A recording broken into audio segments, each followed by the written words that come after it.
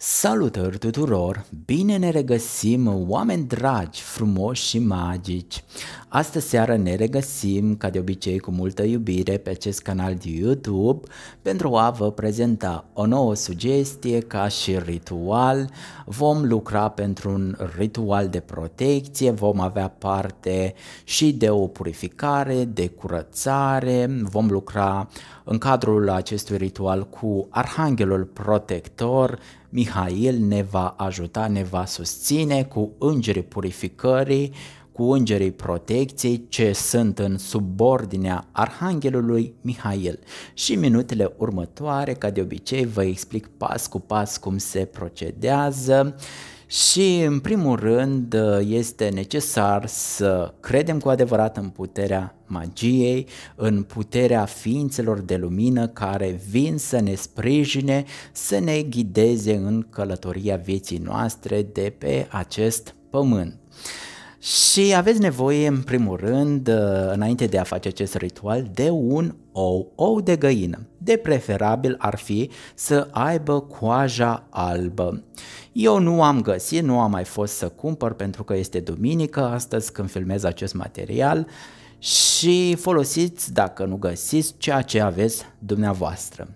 Oul, așa cum bine știm, așa cum v-am explicat în alte materiale, Uh, are capacitatea de a da viață. Folosiți un ou proaspăt, uh, cumpărat de la țărani sau dacă aveți dumneavoastră din curte, de la găinile dumneavoastră și vă imaginați că acest ou este ca și un săpun, da?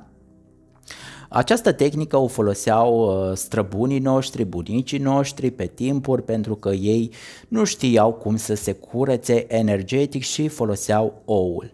Așa cum v-am spus că oul este o celulă vie, noi, prin puterea intenției, transferăm energia negativă în interiorul oului. Oul absorbe foarte rapid, da? Ne frecăm foarte bine, mai ales acolo unde simțim că avem dureri pe tot corpul nostru, prin zona chakrelor, unde simțim noi că avem diverse dureri, blocaje, pentru că sunt blocaje energetice, energii stagnante, da? Și vă luați timpul vostru necesar pentru a vă curăța.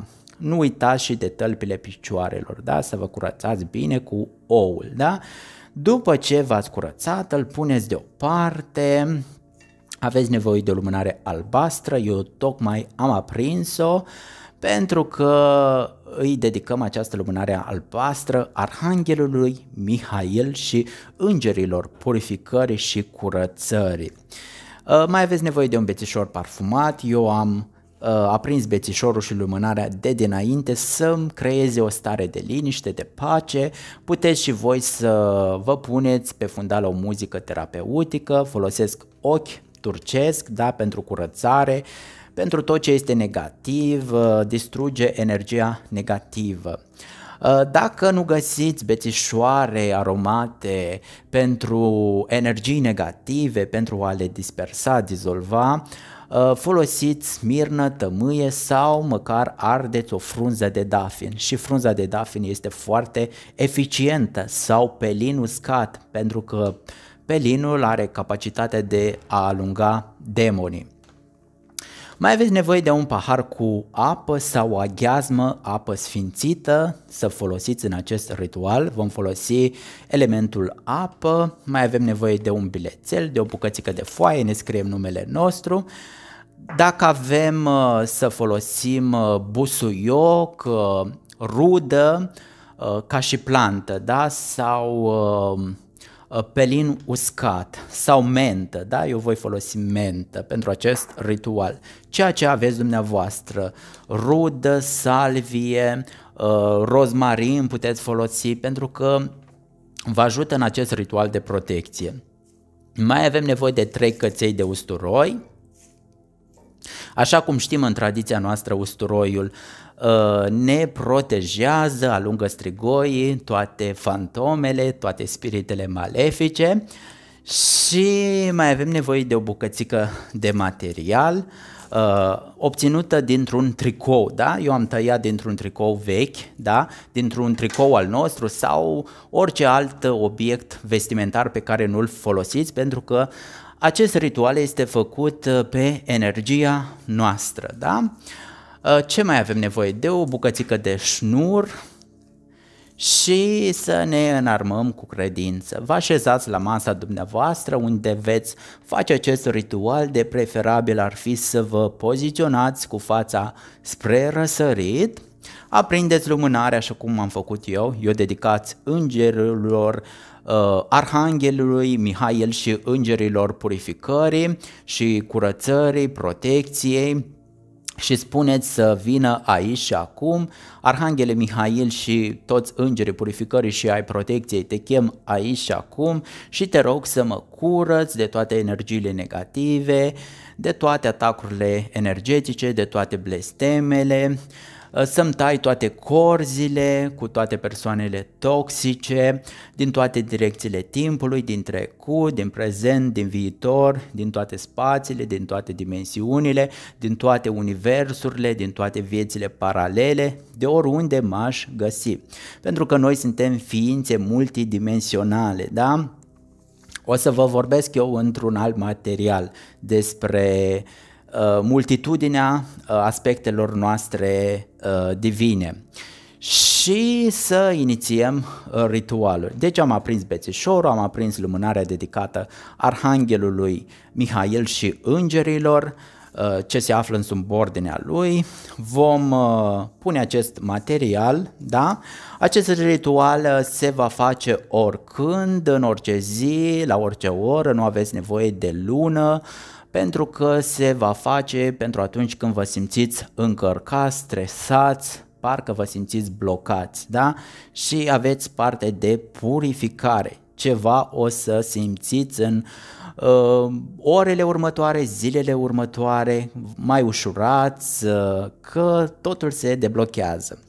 Așa, ne-am scris pe bucățica de foaie numele nostru, luați un pix, împăturim această foaie, o punem aici în mijloc, punem aceste trei bucăți de usturoi și punem puțină uh, mentă dacă avem, dacă nu puneți rudă, busuioc, rozmarin, uh, sunt salvie, ceea ce aveți dumneavoastră, vă ajută, da? Este un ritual făcut pentru protecție.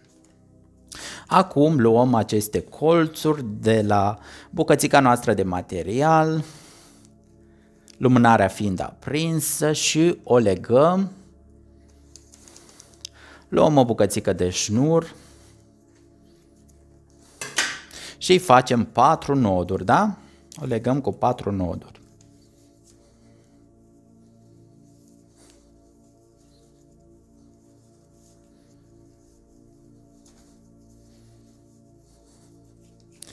Am făcut patru noduri și o lăsăm aici să se ritualizeze. Acum, noi în acest moment simțim ajutorul Arhanghelului Mihail, putem să închidem ochii, să stăm într-o stare de contemplație, de interiorizare ca și într-o meditație, simțind cum se lucrează în câmpurile noastre energetice. Totul se întâmplă acum și aici prin puterea intenției noastre, da? Lumânarea se va consuma în totalitate, bețișorul la fel, uh, apoi vom lua, după ce s-a consumat lumânarea, uh, acest uh, ritual, această lucrare și o vom ascunde undeva uh, în dormitorul nostru undeva bine ascunsă. Este valabilă șase luni, da? După șase luni de zile se va arunca undeva în foc sau o ardeți pentru că după șase luni nu mai are capacitatea de a vă proteja. Faceți din nou. Dacă doriți să faceți pentru alte persoane, le cereți acordul, da? Uh, și dacă vă dau acordul, puteți să faceți, dar aveți nevoie de o bucățică de material din hainele lor, da? Doar dacă vă dau permisul. Nu aveți voie să vă băgați în viața altor persoane, chiar dacă sunt persoane dragi, copil, da, soț, soție, este important să le cereți permisul dacă vor acest ajutor. Oul îl veți arunca, nu îl spargeți, da? Îl aruncați undeva la gunoi, la toaletă, este important să ajungă în pământ. Nu îl veți sparge ca să nu mai împrăștiați energiile negative prin casă. Pur și simplu îl aruncați fără să vedeți ceea ce este în interiorul lui. De obicei dacă îl spargem și ne uităm într-un pahar de apă o să vedem chestii foarte ciudate, tot felul de firișoare albe, tot felul de figuri, dar este bine să îl aruncăm. Știm că a absorbit uh, tot ceea ce era de absorbit din corpul nostru fizic și o să vedeți uh, după acest ritual eliberare, ușurare, parcă respiri mult mai ușor, parcă te miști cu mai multă mobilitate. Lumânarea albastră este pentru calmitate, pentru dreptate, pentru protecție, ne conectează la planurile subtile, da? Uh, mulți dintre voi o să mă întrebați, dar eu nu am lumânare albastră, pot folosi albă, ar fi indicat să folosim albastră sau mov, ne conectează la lumile super, uh, spirituale, da? Și dacă într-un caz nu aveți nici albastră, nici mov, folosiți albă, da? Pentru că lumânarea albă este universală. Eu vă dau varianta cea mai optimă, cea mai potrivită pentru voi. Voi puteți să-l customizați acest ritual așa cum simțiți voi. Da?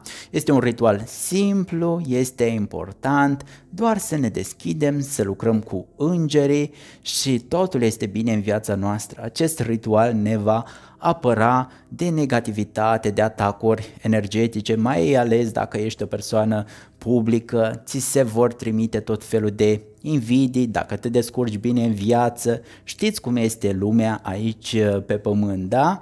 Și este bine să ne facem această protecție și să crezi cu adevărat, pentru că magia funcționează uh, doar dacă crezi în ea, da?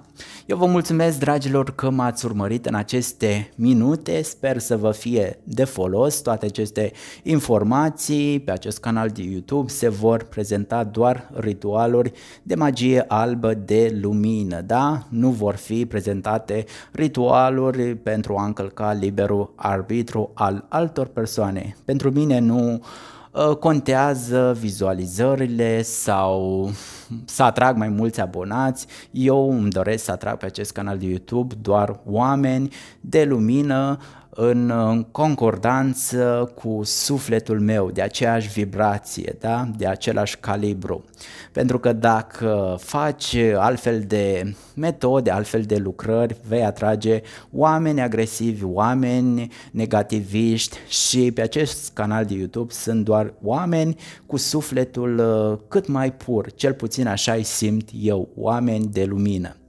Încă o dată toate cele bune, pe curând și nu uitați că vă iubesc!